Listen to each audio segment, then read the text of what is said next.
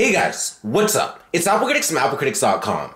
In this video, I'm going to be showing you the HomePod Mini versus the HomePod and just giving you my overall thoughts, opinions, impressions, and my complete and thorough review of these two flagship speakers made by Apple.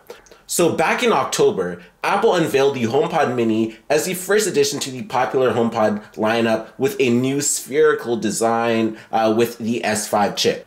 Now, it also does come with a more affordable price tag of $99, and the HomePod Mini is much more accessible and versatile than the original HomePod that is on the left.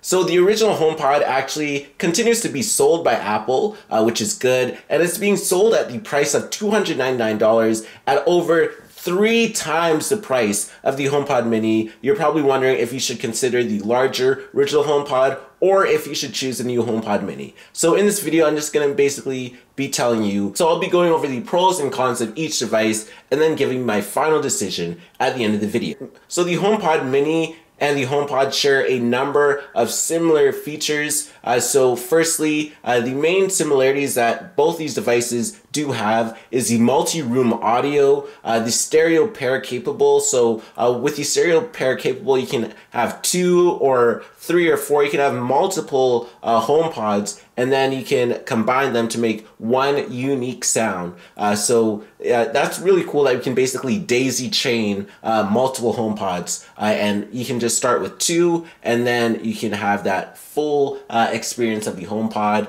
Uh, and some people buy four HomePod minis, some people buy eight HomePod minis or however many, you get the point with the stereo pair capable. Now it does have Siri and they both are upward facing and they have the audio conductive fabric on it. If you actually feel both these devices, you'll feel that it has this mesh around it that actually uh, is a unique feeling for an Apple product. Now, it has a seamless audio handoff. Uh, so that audio handoff is basically when you have uh, your iPhone or any uh, Apple device that has the NFC capabilities and you just put it right over the HomePod, and then it'll start playing music. And you can just uh, do it vice versa. You can put it over again, and then it'll switch the music uh, from your iPhone to your HomePod. And then if you do it again, it'll go from your HomePod back to your iPhone. So it's really unique in that way. Now, it also is compatible with the Smart Home Hub, and some of the main features that are embedded within uh, these HomePods that are both similar include the intercom feature, the Find My feature, the Siri shortcuts, the ambient sounds, and the music alarms.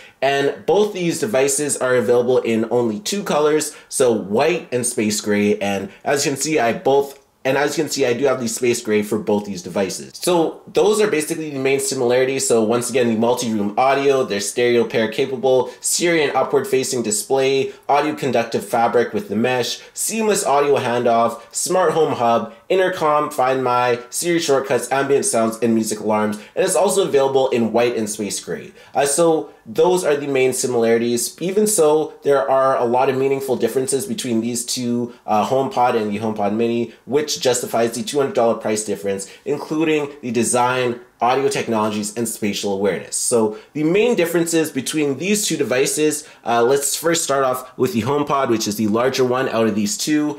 So the main difference is that the HomePod is large and it has a capsule design whereas this HomePod Mini is compact and has a spherical shape uh, right here. So you can see it's a much different design. And if we compare it to the HomePod, you can see it's much larger and wider and a much uh, more uh, capsule-like design compared to a spherical design of the HomePod Mini.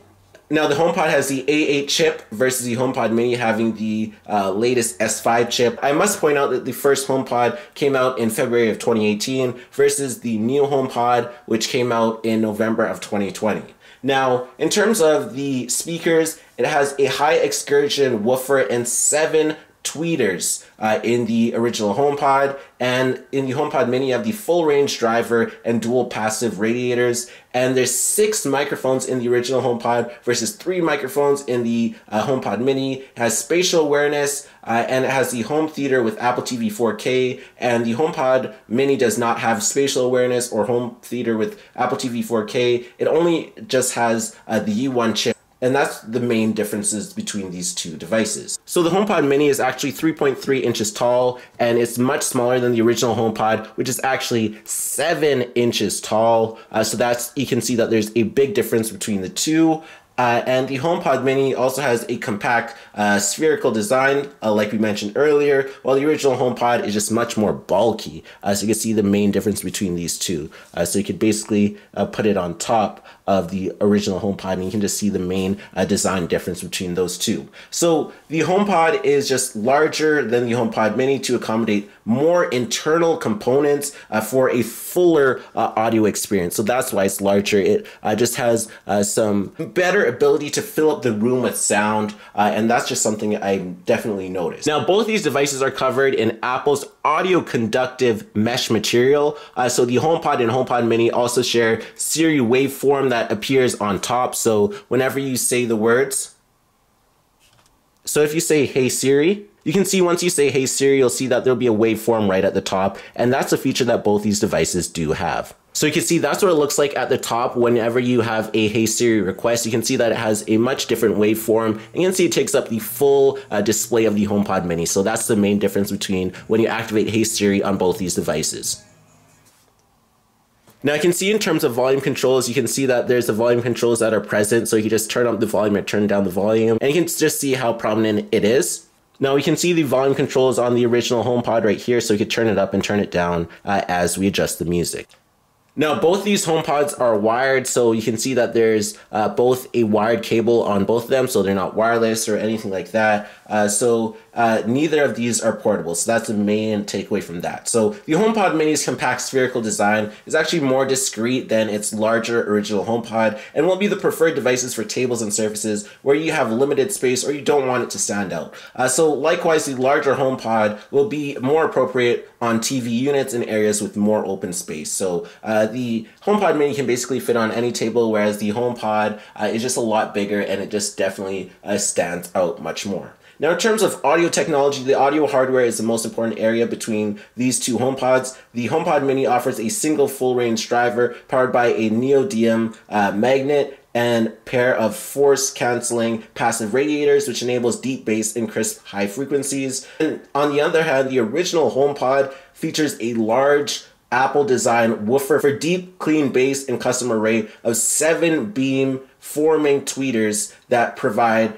pure high frequency acoustics, each with its own amplifier and directional control. Uh, so the main difference between both these devices is that the bass on the original HomePod uh, can shake the room, so to speak. So the original HomePod has just the better speaker system overall, and you can't even compare it to the HomePod Mini because the HomePod Mini is much smaller. So how can you expect a smaller device to drive the same amount of design compared to this bigger original HomePod? So uh, just the original HomePod can adapt to any room and can fill up that room with sound, uh, and even when it's at 100%, it's very loud on the original HomePod versus 100% on the HomePod Mini is loud, but it does not necessarily fill up the room.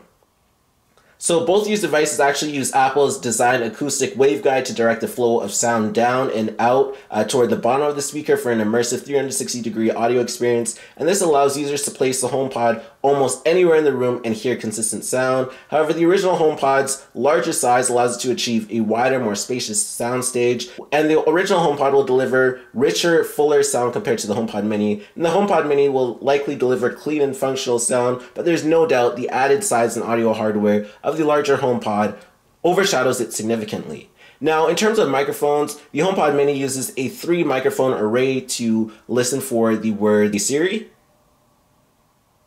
and a fourth inward facing microphone helps isolate sound coming from the speaker to improve voice detection when music is playing. The larger HomePod uses an array of six microphones for the same reason. So these microphones help to cancel echo, enable Siri to understand whether they are near the device or standing across the room. Even while the loud music is playing, however, it is unclear if the added microphones on the HomePod are able to counteract uh, its larger and louder sound profile, while the HomePod Mini simply doesn't need a 6 microphone array due to its smaller size, or if it is at a point of material difference between these two models when it comes to sound isolation. In terms of processor and software, the HomePod uses an A8 chip from the iPhone 6, iPad Mini 4, and Apple TV HD, while the HomePod Mini uses the S5 chip from the Apple Watch Series 5 and Apple Watch SE. The HomePod's processor allows it to use advanced software for real-time acoustic modeling, audio beamforming, and echo cancellation, and the HomePod Mini uses its processor to maximize the performance of its less capable audio hardware in an attempt to achieve a big sound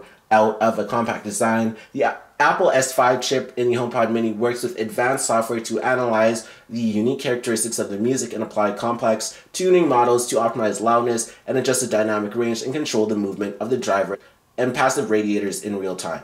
The A8 chip in the larger HomePod likewise performs some unique functions such as bass management through real-time software modeling that ensures the speaker delivers the deepest and cleanest bass possible with low distortion.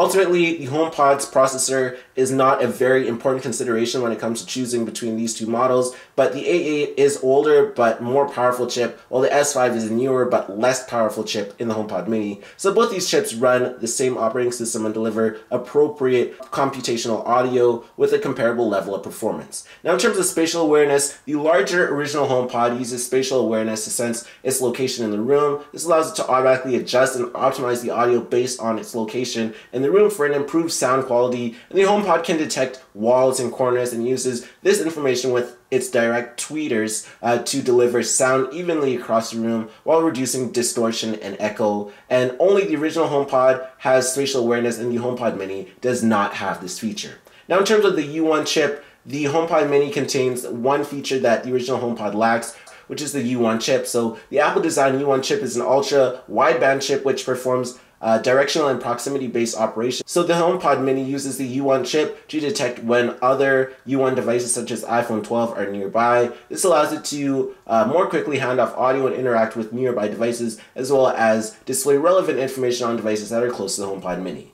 Now, beyond this, however, the full potential of the U1 in the HomePod Mini does not uh, seem to have uh, been realized, but in the future, U1 could facilitate close range data transfer, improve AR experiences, and track the user's location within the room. Now, Apple now seems to be adding the U1 chip to all of its new devices, with the U1 chip appearing in the iPhone 12 lineup and the Apple Watch Series 6. Now, in terms of stereo sound, adding a second HomePod to your setup enables stereo sound to create a wider soundstage for richer, more enveloping sound. Each HomePod is able to play its own channel of either left or right sound while separating out both the ambient and direct energy. Uh, so both these devices can perform automatic detection and balance of two speakers using both direct and related audio. Even though the two speakers act as one, each HomePod communicates with each other so that only one speaker responds to your Siri requests. Now, while the HomePod and the HomePod Mini support the stereo pair capability, you cannot pair a HomePod Mini and an original HomePod together. Instead, you can only pair two original HomePods or two Minis as stereo speakers. Both HomePods support multi-room audio and can be mixed together using the functionality but not achieve stereo sound. Now in terms of the home theater with the Apple TV 4K, the original HomePod also supports home theater with Apple TV 4K. This allows the HomePod to provide a more immersive home theater experience when it is paired with the Apple TV 4K. By offering the surround sound and Dolby Atmos, the feature is reliant on the directional and spatial awareness capability of the original HomePod, so it is not available on the HomePod Mini. Two HomePod minis can nevertheless still provide stereo sound for the Apple TV, but not the full home theater experience of the original HomePod. So if you intend to use a HomePod or a pair of HomePods as TV speakers with the Apple TV 4K, there's no doubt that the original HomePod will provide a much better audio experience. Now, in conclusion, Overall, it's clear that the HomePod and the HomePod Mini are products that have different purposes.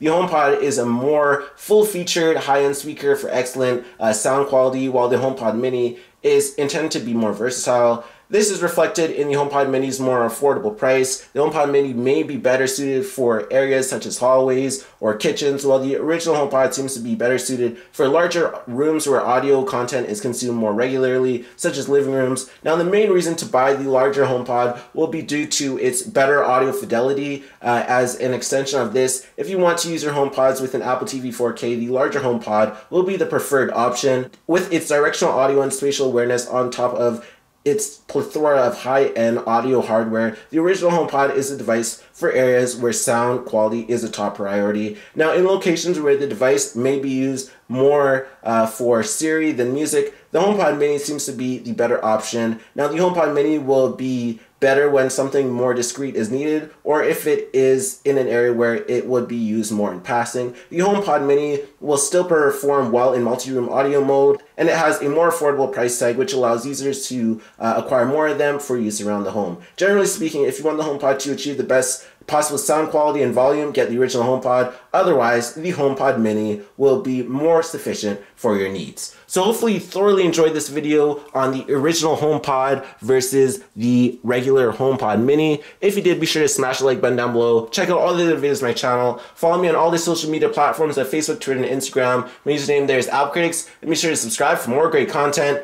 And thanks for watching.